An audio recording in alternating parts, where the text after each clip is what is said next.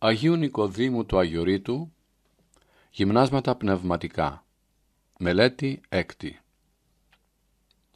Πρώτον, περί του αριθμού των αμαρτιών εκάστο ανθρώπου. Δεύτερον, περί του βάρους των αμαρτιών του.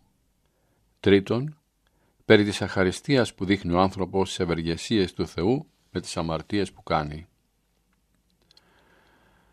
Συλλογή σου αγαπητέ αδελφέ το μεγάλο και φοβερό αριθμό των αμαρτημάτων σου, του οποίου το λιγότερο μέρος να είναι εκείνο που θυμάσαι, το δε περισσότερο το λησμόνησες, επειδή κατά τον ψαλμοδόν παραπτώματα της συνήσει και κατά τον εκκλησιαστή και ιστέρημα ουδινήσετε αριθμηθήνε. Λοιπόν, για να μπορέσεις να θυμηθείς κάποιο τι από αυτά. Και αυτό συγκεχημένα στοχάσε όλους τους τόπους εκεί που πέρασες στη ζωή σου, όλες τις υποθέσεις που μεταχειρίστηκες, όλες τις αξίες που έλαβες, όλες τις ηλικίες και τους χρόνους που πέρασες, όλους τους ανθρώπους με τους οποίους συναναστράφηκες.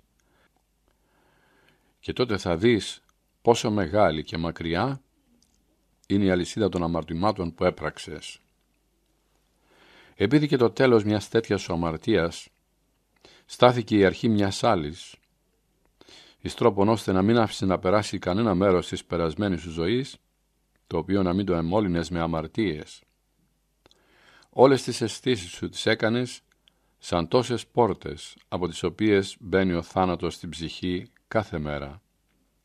Όπως λέει και ο Ιερεμίας, ο προφήτης, ανέβη θάνατος δια των θηρίδων. Όλες τις εσωτερικές δυνάμεις της ψυχής σου τις μεταχειρίστηκε σαν όργανα όλων των αμαρτιών που μπορείς να κάνεις. Εκείνο μόνο το κακό δεν έκανες, που δεν σε ενόχλησε. Και δεν δυνήθηκες να έχεις κάποια ευκαιρία για να πράξεις κάτι και ό,τι κακό έκανες μπόρεσες και το έκανες και πάνω σε όλα αυτά πήρες και τη θέληση εκείνη που σου δόθηκε για να επιθυμείς με αυτήν το άκρο αγαθόν που είναι ο Θεός και εσύ τη μεταχειρίστηκες δυστυχώς για να επιθυμείς και να αναγκαλίζεσαι όλα τα συχαμερά και ανάξια του λογικού πράγματα. Αντί να θέλεις το Θεό δηλαδή, θέλεις τα συχαμερά του κόσμου. Το μεταχειρίστηκες για να αποστρέφεσαι το Θεό που είναι το άκρος επιθυμητό πράγμα και τούτο το έκανε σε μια ευκολία τόσο απίστευτη σαν να μην ήσουν υποκείμενος τελείως ούτε σε φυσικό νόμο ούτε σε θεϊκό. Για τούτο πρέπει να εξομολογηθείς αδελφέ. Να πεις ότι η ψυχή σου είναι μπρος στους οφθαλμούς του Θεού σαν το σώμα του Ιώβ όλοι καταπληγωμένοι, όλοι σαπισμένοι σαν ένα βρωμερό, συχαμερό απόστεμα. Όλοι σκολικόβρωτη και έπιασε τον, Ιόν, τον Ιώβ έλκη πονηρό από ποδόν έως κεφαλής. Διότι αν μια αμαρτία ακόμα και αν είναι συγνωστή κυριεύει εκείνον που την κάνει είναι άξια για πνευματικό θάνατο εσύ άραγε πόσες φορές έγινες άξιος να θανατωθείς και να βγεις από αυτόν τον κόσμο με τις γνωστές αμαρτίες που σε κυρίευσαν. Κι αν μια μόνη θανάσιμη αμαρτία είναι άξια για τον Άδη, εσύ αδερφέ μου άραγε πόσες φορές γκρεμίστηκες στον Άδη με τις θανάσιμες αμαρτίες που έκανες και με όλα αυτά δεν μπορείς να αρνηθείς πως η ευσπλαχνία που έδειξε ο Θεός σε σένα στάθηκε μεγάλη και υπερβολική επειδή όχι μόνο σε υπέμεινε τόσο καιρό φορτωμένο με τόσες αμαρτίες, αλλά ακόμα σου έκανε και τόσες, τόσες και τόσες ευεργεσίες. Τώρα λοιπόν αγαπητέ, εσύ που έχεις τη γνώμη να κακομεταχειρίζεσαι έτσι τη Θεία Σπλαχνία, να που έμεινες νικημένος από αυτήν για τα τόσα καλά που σου έκανε και σου κάνει. Για τούτο τώρα αφιέρωσε τον εαυτό σου σε αυτήν Ομολόγησε την κακία σου και μίσησε την αμαρτία όσο περισσότερο μπορείς. Ζήτησε ταπεινά από το Θεό μια συγχώρηση που να ισομετρείται με τις υπερβολές των αμαρτιών που έκανες. Υποσχόμενος να τον αγαπάς το εξής. Με μεγάλη θερμότητα. Όση ανάλογη αφθάδια έδειξες όταν τον παρόργησες και είχες το θάρρος να το κάνεις αυτό. Και αυτός, ως πολυεύσελαχνος που είναι, θα σε βοηθήσει και θα σε κρατήσει με τη χάρη του για να μην πλέσεις πλέον στις πρώτερες σου αμαρτίες. Πες λοιπόν, Κύριε και δέσποτα της ζωής μου, μη εγκαταλείπεις με εμβουλή αυτών, μη αφείς με πεσίνεν αυτής, όπως λέει η Σοφία Σιράχ στο ΚΓ κεφάλαιο. Συλλογήσου ακόμη αγαπητέ αδερφέ το βάρος των αμαρτιών σου, επειδή κάθε μία από τις γνωστές αμαρτίες είναι το μεγαλύτερο κακό και δυστυχία του κόσμου και κάθε θανάσιμη αμαρτία σου σαν όπου είναι κακό που αναφέρεται στο Θεό και υπερβαίνει με άπειρη υπερβολή όλα τα κακά που απλώς αναφέρονται στα κτίσματα. Γιατί και οι ύβρις και οι καταφρονήσεις που κάνει κανείς σε όλα μου τα κτίσματα παρόντα και περασμένα και μέλλοντα με το να αναφέρονται πάντοτε στις τελειότητες που είναι πεπερασμένες και περιορισμένες δεν είναι αρκετές να συγκριθούν με ένα μόνο αμάρτημα θανάσιμο, με το οποίο ο αμαρτωλός ευθέως ευρίζει και καταφρονεί τις άπειρες τελειότητες του Θεού. Λοιπόν το χρέος, εκείνο που χρωστάει μια αμαρτωρή ψυχή για μια μόνο θανάσιμη αμαρτία της, είναι τόσο πολύ και μεγάλο, ώστε όλες οι αγαθοργίες των Αγίων όλες οι αγιότητες των αγγέλων, όλες οι αξιομιστίες, ακόμη και της Παναγίας Παρθένου, πολλαπλασιαζόμενες μύριες φορές, το λέμε έτσι υπερβολικά για να το καταλάβουμε, δεν μπορούν να το πληρώσουν το χρέος μιας αμαρτίας. Χρειάστηκε ο ίδιος ο Θεός να έρθει για να πληρώσει το χρέος αυτό. Ούτε μένει άλλο πράγμα που να μπορεί με τα ζύγια της Θείας Δικαιοσύνης να βαρύνει ίσα με το βάρος μιας θανάσιμης αμαρτίας. Πάρεξ, παρά μόνο δηλαδή, ο σταυρός και το αίμα του λυτρωτή. Για τούτο η αμαρτία είναι το άκρον πάντων των κακών. Είναι το μοναδικό θα λέγαμε κακό. Είναι το αληθινό κακό. Και όλα τα άλλα όσα εμείς συνηθίζουμε να ονομάζουμε κακά, συγκρινόμενα με την αμαρτία, που μόνη της όπως είπαμε είναι το αληθινό κακό, όλα τα άλλα είναι ένας ίσκιος του κακού.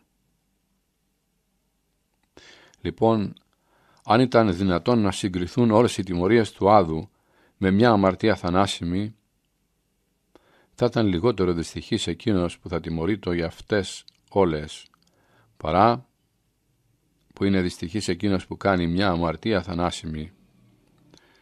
Διότι καθώς λέει το Πνεύμα το Άγιο δια του Σιράχ, του προφήτη, λυσιτελής μάλλον ο άδης αυτής. Τόσο είναι το βάρος μιας βαριάς παραβάσεως εναντίου του θείου θελήματος. Και εκείνος που αποτολμά να κάνει μια τέτοια παράβαση, βέβαια έχει καρδιά πέτρινη. Είναι τελείως άλογο ζώο ή καλύτερα να πούμε είναι ξύλο, τελείως ανέστητο, διότι αμαρτάνει με τόση αφθάδεια και αθεοφοβία, σαν να έβλαπτε ένα Θεό όχι αληθινό και ζωντανό όπως είναι ο Θεός, αλλά ψευδή και ζωγραφισμένο. Τι λέω, εκείνος ο χριστιανός που αμαρτάνει και βλάπτει το Θεό με τόση τόλμη, κάνει ένα πράγμα που δεν τόλμησαν να το κάνουν ούτε αυτοί οι παλαιοί Έλληνες ειδωλάτρες προς τους ψευδόθεους αυτούς, τους ξύλινους και λίθινους, καθώς και ο ίδιος ο Θεός παραπονούμενος για τούτο λέει «Διέλθετε στις νήσους Χετιέμ δηλαδή των ειδωλολατρών, και δέστε τι γέγονε αυτά, εάν έχουν γίνει αυτά τα πράγματα που γίνανε στο Ισραήλ δηλαδή, λέει ο Ιερεμίας στο δεύτερο κεφάλαιο. Ωστόσο λοιπόν, εσύ αγαπητέ αδελφέ, τι άλλο πρέπει να κάνεις, παρεκτός, να κλαις σε όλη σου τη ζωή με μαύρα δάκρυα για αυτή τη μεγάλη αυθάδεια και σκληρότητα που έδειξε στο Θεό αμαρτάνοντας τι άλλο πρέπει να κάνεις παρά να επιθυμείς να αποκτήσεις ένα πόνο μεγαλύτερο από όλους τους πόνους; Για να αποδώσεις έτσι την τιμή στην άπειρη εκείνη μεγαλειότητα του Θεού, την οποία τόσο εσύ καταφρόνησες. Ζήτησε λοιπόν από τον Κύριο εξ όλης της καρδίας σου να σου χαρίσει τον πόνο αυτό, επειδή και εσύ από λόγους σου είσαι τόσο ταλέπορος, που μπορείς με να αμαρτήσεις, αλλά δεν μπορείς να μετανοήσεις καθώς πρέπει χωρίς τη βοήθεια της Θείας Χάριτος, στην οποία εφάνηκες τόσο ανάξιος. Παρακάλεσε θερμά το δεσπότη να σε σπλαχνιστεί και καθώς τόσες φορές έδειξε την υπομονή του στο να σε υποφέρει με τις αμαρτίες σου, έτσι να θελήσει και τώρα να δείξει άλλο τόσο την αγαθότητα και παντοδυναμία του, με το να τις εξαλείψει όλες με μόνο το έλεος του και να μην τις ενθυμηθεί, καθώς το υπόσχεται μόνος του. Εγώ είμαι ο εξαλείφων τα ανομίας μου, σου, ένα και νεμού, και τα σαμαρτία σου ουμή μνηστήσομαι. Ισαΐας μη γάμα κεφάλαιο. Συλλογή σου αγαπητέ μου την αχαριστία που δείχνεις στο Θεό με τις αμαρτίες σου και ποια ανταπόδοση κάνεις για τις τόσες ευεργεσίες που σου κάνει ο Θεός. Βάλε στο νου σου με κάποια προσοχή το πλήθος και την υπεροχή των αγαθών που σου έδωσε ο Κύριος, τόσο των κοινών που δίδει σε όλους, όσο και των μερικών, των ειδικών δηλαδή, που έδωσε σε σένα μόνο και σε προτίμησε γι' αυτό περισσότερο από τα άλλα κτίσματα. Έπειτα εξέταζε ακριβώς την άκρα αναξιότητα που εσύ έχεις για να ευεργετηθείς κατά αυτόν τον τρόπο. Εξέτασε το άπειρο μεγαλείο του ευεργέτη σου Θεού, με το οποίο κάθε μικρό σου χάρισμα είναι άκρα τιμή. Εξέταζε παρομοίως και την άπειρη αγάπη που έδειξε σε σένα ο Θεός, εκλέγοντάς σου από τους αιώνες, που σε εξέλεξε δηλαδή μέσα σε όλα τα χρόνια αυτά, για να σου κάνει τόσα καλά, για τα οποία εσύ σε χρεώστης, και εσύ να λες από διαθέσεως ψυχής εκείνες τις ευχαριστήριες φωνές του Δαβίδ. Τι σημεί εγώ Κύριε ο Θεός και τι ο οίκος του πατρός μου ότι αγάπησάς με έως αιώνος. Και πάλι, τι ανταποδώσω το Κυρίο περί πάντων ον ανταπέδω και μη, ψαλμός ρο ε. Συλλογήσου και αυτά. Συλλογήσου και τούτο ακόμη, ότι αν ίσως και για σένα μόνο θα κατέβαινε ο Θεός από τον ουρανό στη γη μόνο για σένα και θα γινόταν άνθρωπος έτσι φτωχός όπως έγινε και θα ταπεινώνονταν, θα πάθαινε, θα πέθαινε και θα ήθελε να πει στους αγγέλους οι οποίοι έβλεπαν την τόση αχαριστία που θα δείχναμε εμείς αυτόν Μόνο τούτο εσύ δεν είσαι λιγότερο χρώστης αυτόν επειδή και έπαθε και πέθανε για σένα με τόση αγάπη ώστε αν εσύ ήσουν μόνο στον κόσμο για να λάβεις όφελος και σωτηρία από το θάνατό του θα το έκανε. Τώρα βλέποντας εσύ αδερφέ τον εαυτό σου περικυκλωμένο από τις ευεργεσίες του Θεού δεν έπρεπε να έχεις ή δυνατόν όχι μόνο να θέλεις να αμαρτήσεις και να βλάψεις το Θεό, αλλά και να βάλεις κάποιον υψηλό λογισμό στο να αμαρτήσεις. Δηλαδή ούτε να σου περάσει από το μυαλό να αμαρτήσεις. Δεν έπρεπε να λες και εσύ εκείνο που είπε ο Σόφρον Ιωσήφ και πώς πίσω το ρήμα το πονηρών τούτο και αμαρτήσω ενώπιον του Θεού ή εναντίον του Θεού όπως λέει άλλο κείμενο, Γένεσης Λάμδα Θήτα, Πώς είναι δυνατόν να παροργήσω εγώ το μέγα μου ευεργέτη, το γλυκύτατό μου Θεό, το φιλόστοργό μου Πατέρα. Μόλο τούτο εσύ, όχι μόνο συλλογίστηκες και θέλησες και αδυνήθηκες να τον παροργήσεις, αλλά δεν έλαβες από αυτόν τόσες ευεργεσίες, αλλά από τον ίδιο τον καιρό που αυτός με πληρέστατο χέρι σου τις έδινε, εσύ τον έβλαπτες. Ναι, τον έβλαψες. Μάλιστα αυτά τα ίδια χαρίσματα τα ίδια χαρίσματα τα μεταχειρίστηκε σαν άρματα για να τον πολεμήσεις. Ω πράγμα φρικόδες, φρίκι, ο Θεός να σε δημιουργήσει από το τίποτα και εσύ να τον καταφρονήσεις σαν να ήταν ένα τίποτα. Ο Θεός να σε προτιμήσει από τόσους και τόσους για να σε ευεργετήσει και εσύ να τον ψηφίσεις λιγότερο από το δικό σου κορμί που είναι μια σαπίλα. Ο Θεός να πεθάνει για να σου δώσει ζωή και εσύ αντί να του δώσεις τη ζωή σου να ανανεώνεις τα πάθη του, το σταυρό του, τη λόγχη του και να αυξάνεις τις πληγές του με τις αμαρτίες σου καθώς λέγει ο Παύλος ανασταυρούντας εαυτής των ιών του Θεού και παραδειγματίζοντας Εβραίους εκ το κεφάλαιο. Ο Θεός εσένα αγαπητέ σε αγάπησε τόσο και εσύ αντί να τον αγαπήσεις και εσύ καθώς πρέπει να αγαπήσεις καλύτερα από αυτόν μιας συχαμένη ειδονή μια σκιά που φεύγει. Ο Θεός καθώς λέει ο Ιερός Αυγουστίνος πολλών κινδύνων σε λύτρωσε, πλανηθέντα προς την οδόν επανήγαγε, αγνοούντας σε δίδαξε, λυπούμενον σε παρεκάλεσε, επιρικότα ενίσχυσε, πεσόντα ανόρθωσε, ιστάμινον εκράτησε. Σε κράτησε όρθιο δηλαδή. Πορευόμενο σε οδήγησε, ερχόμενον υποδέξατο, κοιμόμενον εφύλαξε, κράζοντα επίκουσε. Τόσα πολλά πράγματα μας περιγράφει και βέβαια ο Θεός μας έχει σώσει από πολλούς κινδύνους, τους οποίους τώρα καθόμαστε και σκεφτόμαστε πολλές φορές και τους βρίσκουμε αυτούς τους κινδύνους που περάσαμε.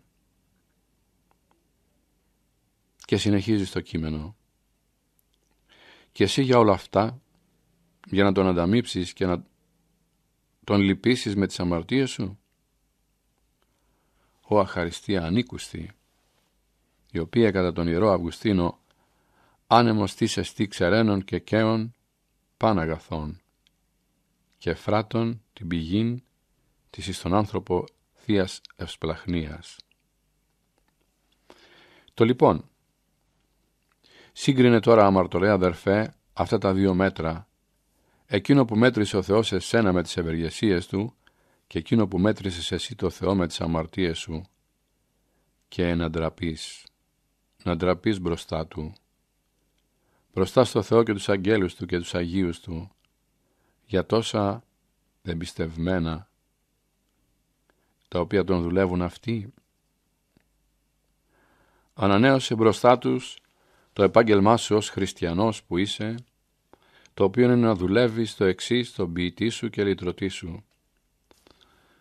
Θαύμασε τώρα πώς σε υπέφεραν τόσοι άγγελοι και οι Άγιοι, τόσο τα θηρία και όλα τα άλλα ποίηματα του Θεού και δεν σηκώθηκαν κατά πάνω σου να σε αφανίσουν για αυτή την ύβρη και ατιμία που έκανες του δεσπότου τους, καθώς είναι γραμμένο «Συνεκπολεμήσει αυτό ο κόσμος επί τους παράφρονας».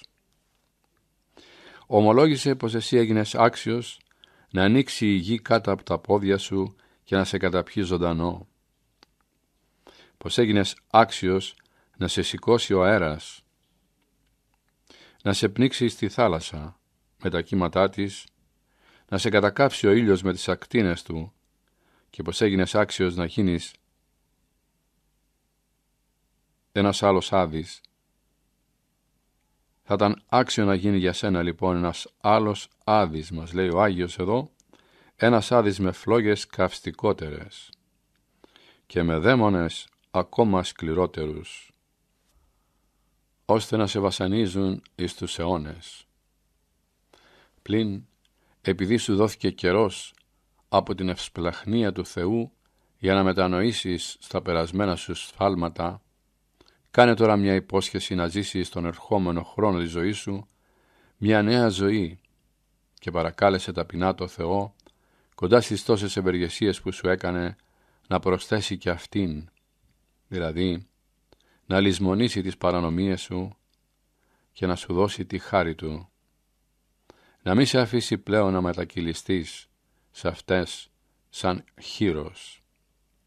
μήτε να επιστρέψεις πάλιν σαν σκύλος στο πρώτο σου ξέρασμα κατά την παροιμία συμβεύει και δε αυτής το της αληθούς παροιμίας κύον επιστρέψας επί το ίδιον ξέρασμα και εις λουσαμένη εις κύλισμα βορβόρου και μια γουρούνα δηλαδή η οποία ξανακυλιέται αφού είναι λουσμένη πάλι μέσα στο βόρβορο. Αυτό γράφεται στη Δευτέρα Επιστολή του Πέτρου. Και περνάμε τώρα στην εβδόμη μελέτη των πνευματικών γυμνασμάτων του Αγίου Νικοδήμου του Αγιορείτου. Πρώτον, περί του κακού που περιέχει καθεαυτήν η αμαρτία. Δεύτερον, περί του κακού που προξενεί στους άλλους στην παρούσα ζωή. Και τρίτον, περί του κακού που προξενεί στη μέλουσα ζωή.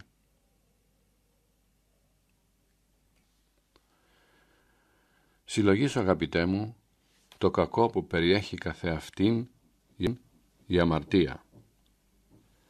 Καθώς ένα είναι το άκρον αγαθόν, ο Θεός, ο οποίος πρέπει να αγαπάτε από μας,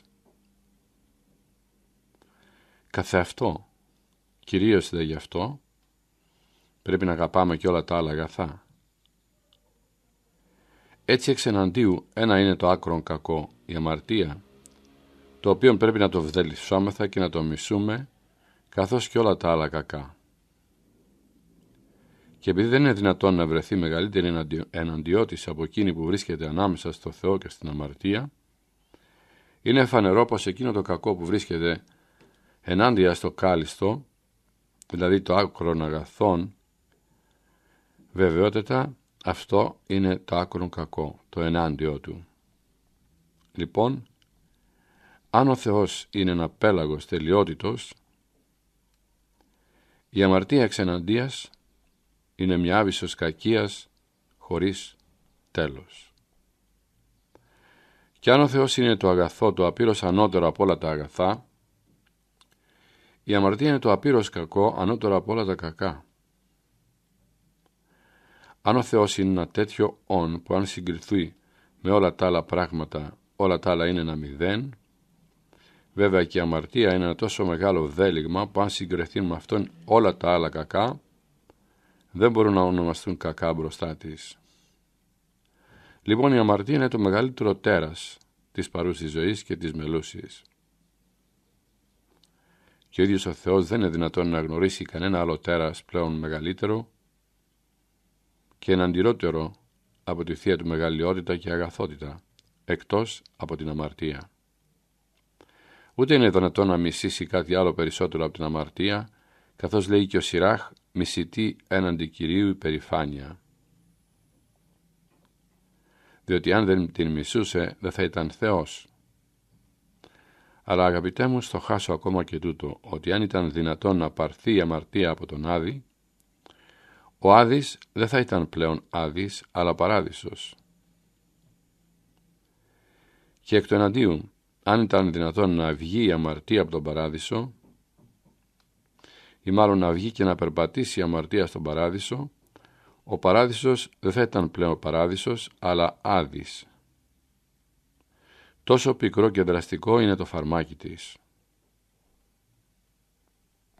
Από αυτά όλα που είπαμε συμπεραίνεται αγαπητέ αδελφέ, τι έκανες εσύ όταν έπραξες την αμαρτία; Διότι γέννησε σε ένα τέρας τόσο βδελικτό που εναντιώνεται άκρος με όλο εκείνο το αγαθό που βρίσκεται στο Θεό, που είναι ο μεγαλύτερος εχθός όλων το, των θείων ιδιωτήτων του Θεού η αμαρτία. Λοιπόν αγαπώντας εσύ αυτό το τέρας, έγινες κατά κάποιον τρόπο άπειρα κακός. Όσο είναι άπειρα αγαθός ο Θεός, και εσύ στη συνέχεια ως αμαρτωλός μισητός στο Θεό, καθώς είναι μισητής αυτόν και η αμαρτία, ως λέγει το Πνεύμα το Άγιο δε του σοφούς Σολομώντος, μισητά το Θεό, ο ασεβών και η ασέβεια αυτού. Γνώριζε λοιπόν ότι η κατάσταση της άκρας αθλειότητος είναι αυτή της αμαρτίας και ταπεινώσου βαθέως. Ευχαρίστησε την ευσπλαχνία του Θεού που σου δίνει χέρι βοηθείας και σε ελευθερώνει από το μισητό αυτό και συχαμερό φόρεμα που ενδύθηκες, το φόρεμα της αμαρτίας. Επειδή όμως χρειάζεται και η δική σου θέληση να ενωθεί με την ευσπλαχνία του Θεού και τα δύο μαζί να εξαλείψουν την αμαρτία, μεταχειρίσου όλη αυτή τη θέληση για να αφανίσεις όλα τα κακά που έπραξες προκαλώντας το Θεό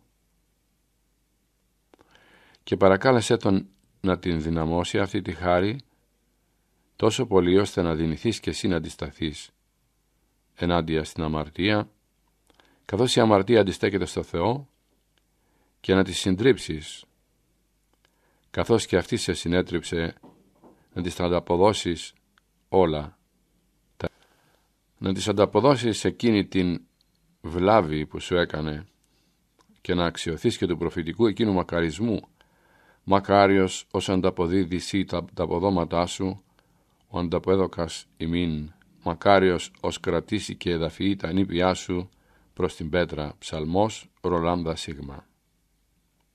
Συλλογήσου λοιπόν αγαπητέ το κακό που σου προξένησε στον παρόντα αιώνα η αμαρτία. Επίσης συλλογήσου πως τρεις είναι οι βαθμοί πάνω στους οποίους γίνονται όλων των όντων οι κινήσεις. Υπερφυσικός, φυσικός και παραφύσιν. Ο υπερφυσικός περιέχει όλα εκείνα τα χαρίσματα που υπερβαίνουν τους νόμους της φύσεως, μα δεν φθύρουν, αλλά μάλιστα τελειοποιούν και καλυτερεύουν τη φύση. Ο φυσικός περιέχει εκείνα τα αγαθά που ακολουθούν κατά τους νόμους της φύσεως. Ο δε παραφύσιν τρόπος είναι περιέχει μάλλον εκείνα τα κακά που είναι και αυτά έξω από τους νόμους της φύσεως όμως φθύρουν και εξαχριούν τη φύση.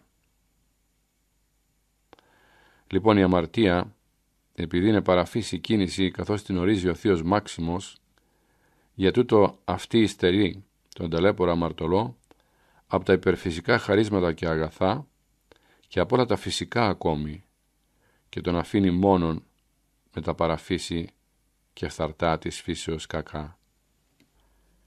Λοιπόν η αμαρτία διαφθείρει τις έξις των υπερφυσικών και θεολογικών λεγόμενων αρετών, τις συνήθειες δηλαδή τις μεγάλες, παραδείγματος χάρη της ζωντανής πίστεως, της αδίστακτης ελπίδος, της προς το Θεόν αγάπης και αφήνεις στην ψυχή να λείψανο νεκρής πίστεως, νεκρής ελπίδος και νεκρής αγάπης.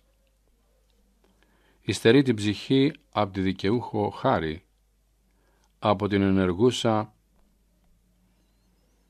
από την υιοθεσία και τη διαμονή και απλώς από όλα τα άλλα άπειρα αγαθά που περιέχει αυτή η χάρη του Θεού, της οποίας ένα μέρος είναι περισσότερης τιμής παρά όλος ο κόσμος.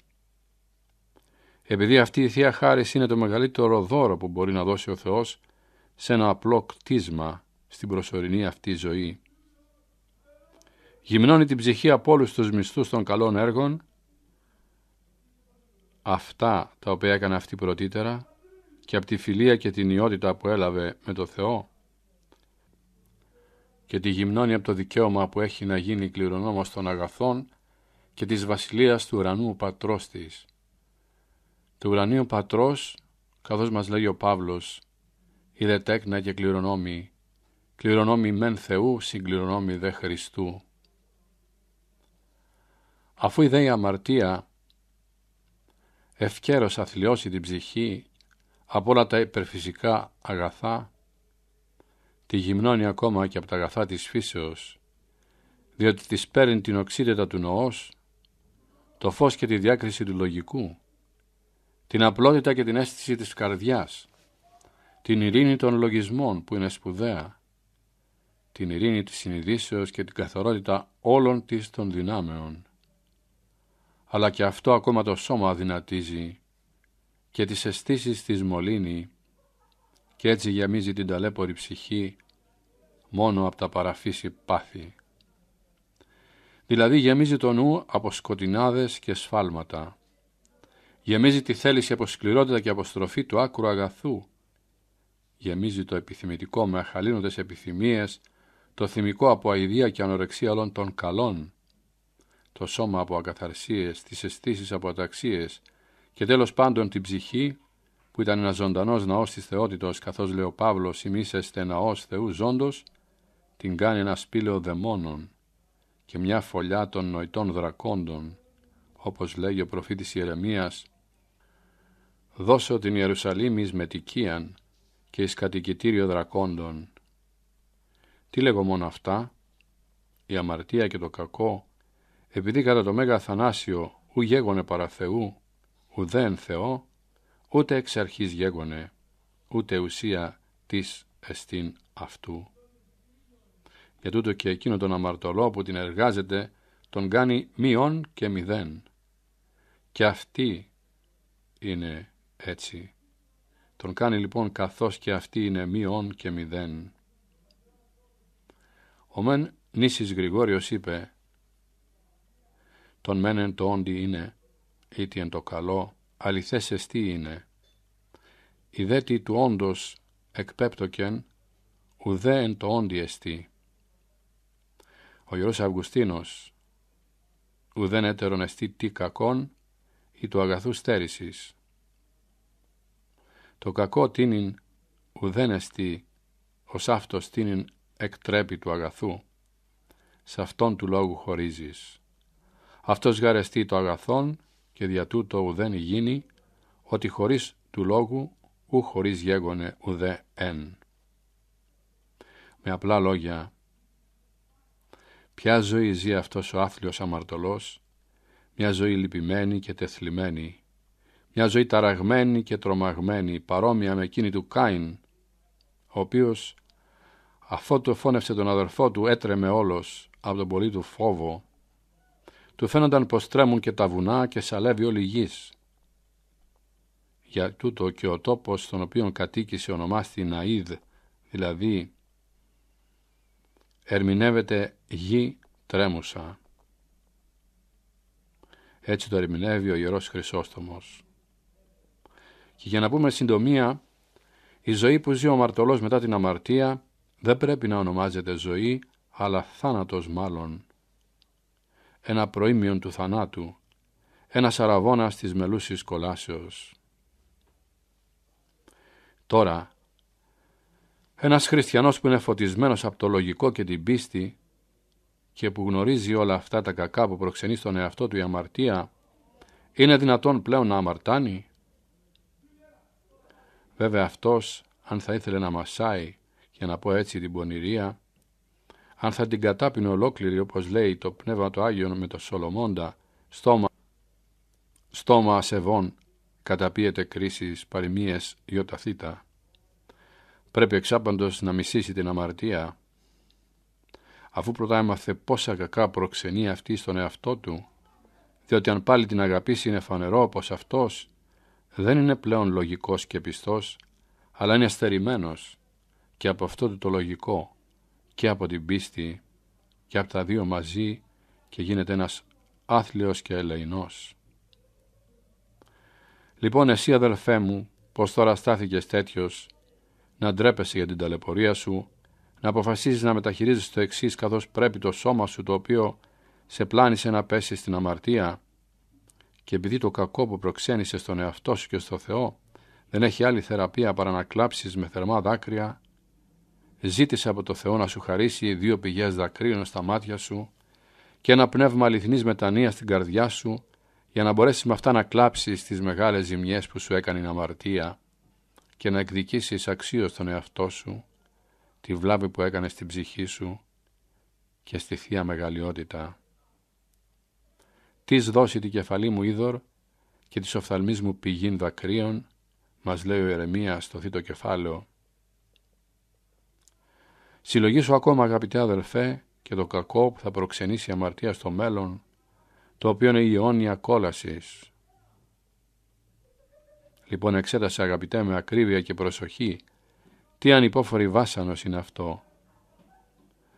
Να καταντήσεις το σώμα σου και την ψυχή σου σε μια φλόγα τόσο φοβερή και δραστική που θα διαλύσει όχι μόνο τα όρη για τα βουνά και τα τρία στοιχεία της γης, δηλαδή το είδωρ και τον αέρα, αλλά και αυτό το στοιχείο τούτου του δικού σου διακονικού πυρός, το οποίο έχει να γίνει σε εκείνο σαν μια ύλη και τροφή, καθώς το συνάγεται από εκείνο που λέγει ο Απόστολος Παύλος και στοιχεία καυσούμενα αληθίσονται. Κι αν εσύ δεν μπορείς να υποφέρεις ούτε μια στιγμή να σε αγγίξει μόνο λίγη φωτιά από τούτη τη δική μας φωτιά, η οποία συγκρινωμένη με εκείνες τις φλόγες του άδου είναι σαν μια φωτιά ζωγραφισμένη, πώς θα υποφέρεις να κατακαίγεσαι σε αυτές τις φλόγες παντοτινά στους αιώνες των αιώνων. Ο προφήτης Ισαΐας, το χαζόμενος, το ανεκδίκητο βάσανο εκείνου του αιωνίου πυρός της κολάσεως, δεν αποτόλμησε ούτε να λαλήσει περί αυτού, ούτε να μιλήσει δηλαδή, χωρίς το μεγάλο φόβο και το θαυμασμό.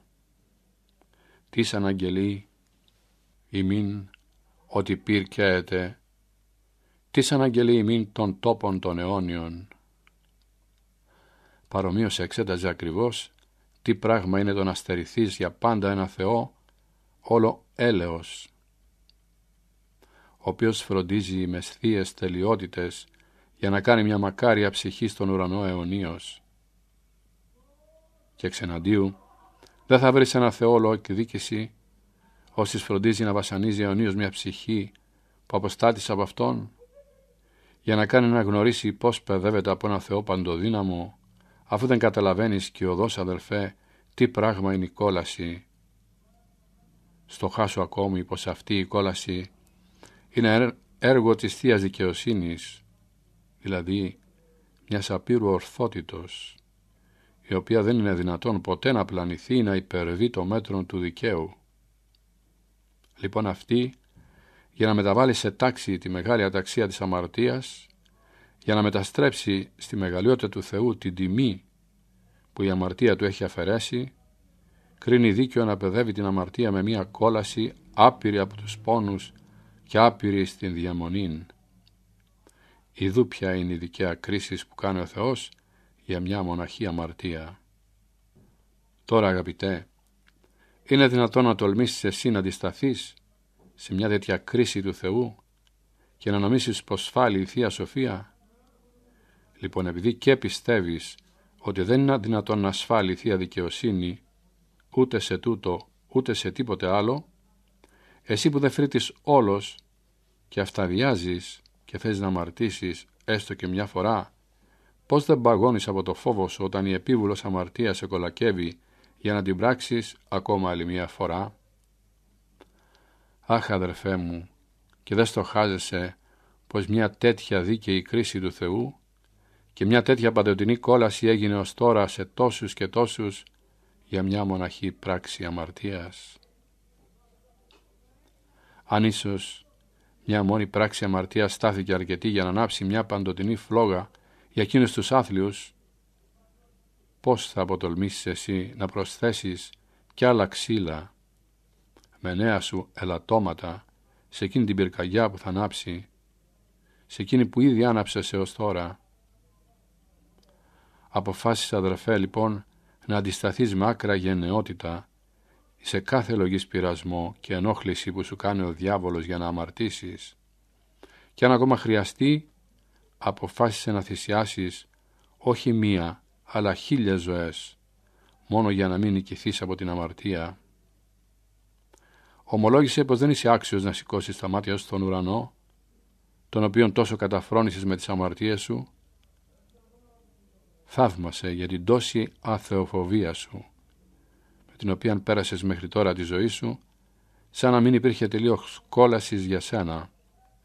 Και ζήτησε τώρα συγχώρεση από το Θεό τον, στον οποίο τόσα κακά που έκανες και τον λύπησες που τον έκανες να σε βαρεθεί και τρόπον την άτονα στεναχώρησες να υποφέρει από σένα. Όταν αμάρτανες και παρακάλεσέ τον για το άπειρον έλεος του να συνδυναμώσει με τη θεία του χάρη τόσο ώστε να προκρίνεις καλύτερα να χύσεις όλο το αίμα σου από τις φλέβες σου παρά να μεταστραφείς και να πικράνεις πια τον αφέντη σου καθώς πρώτερα τον παραπίκρανες με τις αμαρτίες σου. και λέει στον Ισαΐα «Η πικρία σου ανέβει προς εμέ». Μελέτη 8 Πρώτον, ότι ο θάνατος είναι το τέλος όλου του αισθητικού. Δεύτερον, ότι είναι τέλος όλης της απάτης. Τρίτον, ότι είναι τέλος όλου του καιρού, δηλαδή του χρόνου. Θέλοντας αγαπητοί αδελφοί, ο προφήτης Ιεζεκιήλ να μας περιγράψει το θάνατο, τον ονομάζει τέλος τρεις φορές. Πέρας οίκη, το πέρας οίκη, νυν το πέρας επισέ. Έβδομο κεφάλαιο Ιεζεκιήλ. Και με τούτο μας φανερώνει το εξής, ότι ο θάνατος είναι το τέλος τριών πραγμάτων, δηλαδή όλου του αισθητικού, όλης της απάτης και όλου του καιρού. Τώρα συλλογήσω αδερφέ μου πως ο θάνατος είναι το τέλος όλου του αισθητικού. Δεν γνώρισες ποτέ σου κάποιο σύντροφο ή κάποιο συγγενή ή φίλο σου που έζησε και τώρα είναι πεθαμένος; Λοιπόν, καθώς τελείωσαν οι όλες αυτών οι αναπαύσεις, όλες οι φιλίες, όλες οι συναναστροφές και όλες του οι συγγένειες. Καθώς τελείωσε η ματαιότηση και η φαντασία των ενδυμάτων του, η υπόλοιψη της ευουλωτίας, της υπερηφάνειας και πολιτείας του, η αρέσκεια των επένων που του έκαναν οι άλλοι, καθώς τελείωσαν για αυτόν οι πραγματείες, τα κέρδη, τα ξεφαντώματα, οι ειδονές, και για να πω με ένα λόγο, καθώς τελείωσαν για αυτόν όλα εκείνα με τα οποία αγωνίστηκε στη ζωή του, να θεραπεύσει τις αισθήσεις του. Κατά τον ίδιο τρόπο, αγαπητέ μου, θα τελειώσουν σε λίγο καιρό όλα αυτά και για σένα. Και το σώμα σου, αυτό που τώρα θεραπεύεις, γρήγορα θα γίνει μέσα στον τάφο τόσο βρώμικο, που καλύτερα θα μπορούσε κανείς να υποφέρει τις βρώμες της κοπριάς και των αναγκαίων, παρά να υποφέρει τη δική του, του λιψάνου τη δυσοδεία. Και αναβήσετε η σαπρία αυτού και αναβήσετε ο βρώμος αυτού, λέει στον Ιωήλ στο δεύτερο κεφάλαιο. Και λοιπόν τώρα αγαπητοί αδελφέ, γιατί τόσο αγώνα για τα προσαρινά πράγματα, γιατί τόση φροντίδα για ένα σάκο γεμάτο βρώμα, καθώς είναι το σώμα μας, του οποίου πατέρας είναι ο θάνατος, μητέρα και αδερφή η σαπίλα, όπως λέει ο Ιώβ, θάνατον επικαλεσάμιν. Πατέρα μου είναι, μητέρα μου δε και αδελφή σαπρίαν. Γιατί να βάνεις άνω κάτω τον κόσμο και να τον κολακεύεις, όντας βέβαιος ότι τέλος πάντων με όλα αυτά που αγωνίζεσαι να θεραπεύσεις, δεν κάνεις τίποτα άλλο παρά να ετοιμάζεις ένα μεγαλοπερπές συμπόσιο και να φιλεύεις τους κόλικες μέσα στον τάφο. Υποκάτω σου στρώσουσι σύψη και καταλήματά σου σκόλιξ.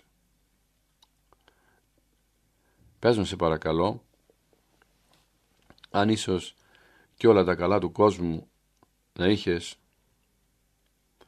είσαι βέβαιος ότι μετά από λίγο καιρό θα χαθούν και θα γίνουν κονιορτός και τίποτα δεν θα υπάρχει για να φροντίζεις γι' αυτά; Όχι. Και λοιπόν, αυτό που γίνεται με το δικό σου θάνατο, διότι εσύ όταν πεθάνεις ο κόσμος όλος χάνεται από μπροστά από τα μάτια σου και έγινε όλος κονιορτός και μηδέν. Επειδή και άλλη φορά δεν πρόκειται πλέον να τον ξαναδύσει στον αιώνα, καθώς ουδέ οι Εβραίοι είδαν πλέον τους Αιγυπτίους αφού πέρασαν την ερυθρά θάλασσα όπως λέει η Γραφή, ου προσθήσεστε έτη δίν αυτούς στον αιώνα, στον αιώνα χρόνο, έξοδος δέλτα. Και συλλογήσου τα ιστερινά και πικρά αποχαιρετιστήρια που θέλεις να κάνεις του κόσμου αυτού, την ώρα του θανάτου σου, πως πρόκειται να αποχαιρετήσεις τις δόξες και τα πλούτη τα υπάρχοντα και όλες τις μακαριότητες, πως θα δώσεις τον αποχαιρετισμό σου σε όλες τις ειδονές και τις απολαύσεις, πως θα αποχαιρετήσεις τους φίλους, τους συγγενείς, τους γείτονες, τα τέκνα, τη γυναίκα σου και όλα τα κτίσματα γενικώς και τέλος πάντων θα δώσεις τον ίστατο χαιρετισμό στο ταλέπορο σώμα σου και παρευθείς θα χωριστεί η ψυχή σου από αυτό και θα το αφήσει κατάχλωμο, κίτρινο, συχαμερό και βρωμισμένο.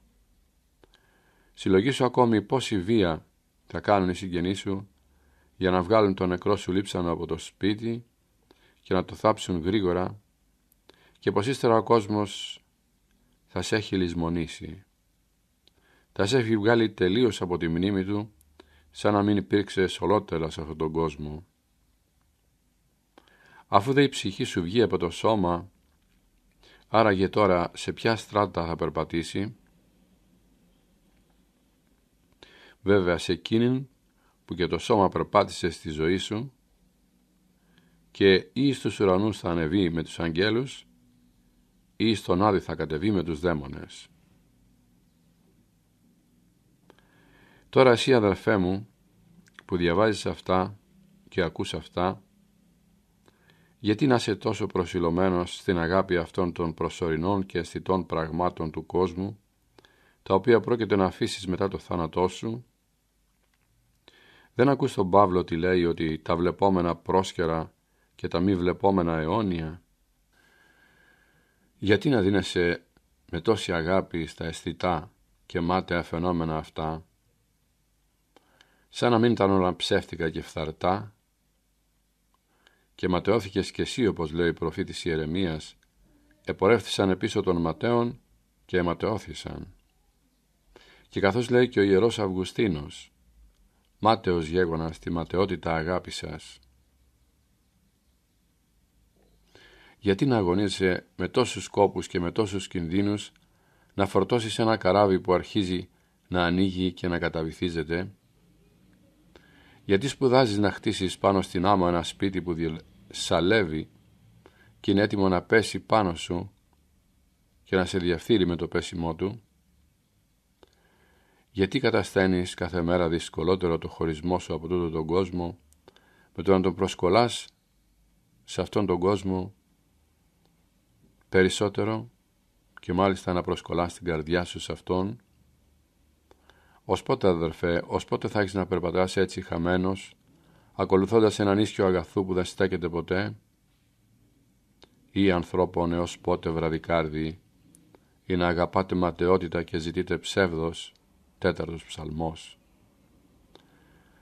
Δεν ακούς εκείνο που σου λέει «Εάν ζητάμε τα παρερχόμενα, τα αιώνια τα αποβάλλουμε. Αν θέλουμε τα αιώνια, να μην αγαπάμε τα παρερχόμενα». Έλα λοιπόν στον εαυτό σου αγαπητέ και θαύμασε και κατηγόρησε την αστοχία σου, με την οποία ως τώρα γεύτηκε στα ρευστά και προσωρινά πράγματα, με τόση δίψα και πόθο σαν να ήθελα να είναι αιώνια, καθώς σε κατηγορεί για αυτά ο προφήτης Αμός, λέγοντας «Ως εστότα ελογίσαντο και ουχ ως φεύγοντα».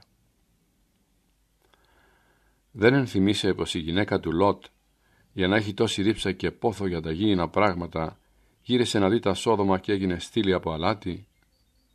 Και τούτο και ο Κύριος θέλοντας να έχουμε πάντοτε στην ενθύμησή μας το παράδειγμα τούτο μας λέει «Μνημονεύεται της γυναικός του Λότ». Λουκάς γιοταζίτα κεφάλαιο. Λοιπόν επειδή και μέλης να αφήσεις σε λίγες μέρες και στανικός, δηλαδή με το ζόρι και χωρίς μισθό, ό,τι και αν βρίσκεται σε τούτο τον κόσμο, αποφάσισε να το αφήσεις τώρα θεληματικός με πολύ μισθό. Βγάζοντας την αγάπη σου από αυτά, τα μάτια και βάζοντας την στις αρετές, τις οποίες όχι μόνο δεν δύναται να σου αρπάξει ποτέ κανένας, ούτε αυτός ο μέγας κλέπτης ο θάνατος, αλλά προς τούτης αυτές έχουν να σε συνοδεύουν στην άλλη ζωή και να είναι πάντοτε μαζί σου αχώριστες.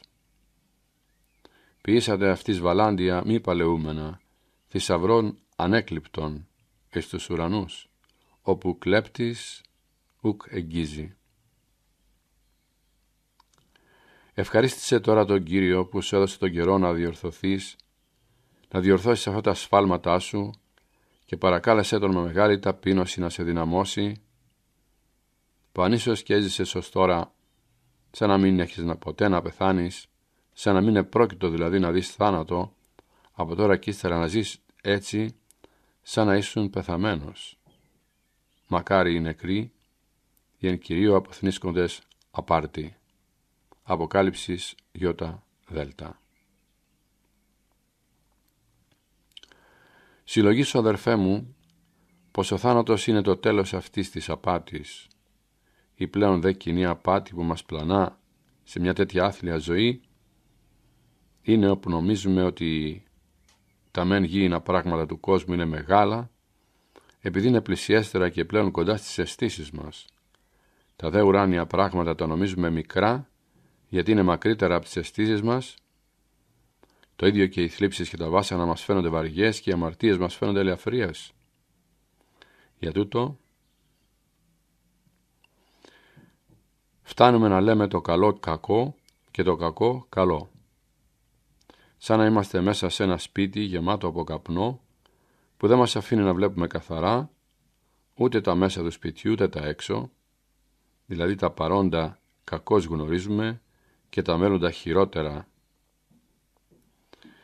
και βγαίνει αυτό που λέει ο Ισαΐας «Ουέι λέγοντες το πονηρό καλό και το κακό, καλό δηλαδή, και το καλό κακό».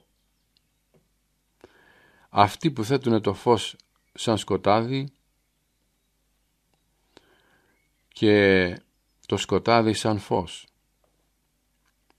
Αυτοί που κάνουν το πικρό γλυκό και το γλυκό πικρό. Αλλά όταν έρθει η ώρα του θανάτου, αραιώνουν όλες αυτές οι σκοτεινάδες και η ψυχή που έχει πάντοτε τα μάτια της κλεισμένα, σαν ένα τυφλοπόντικο, αρχίζει να τα ανοίγει και τότε όλα τα πρόσκαιρα θέλει να τα δει σαν ένα τίποτα, καθώς είναι στην αλήθεια και μόνο τα αιώνια θα τα βλέπει μεγάλα και θαυμαστά.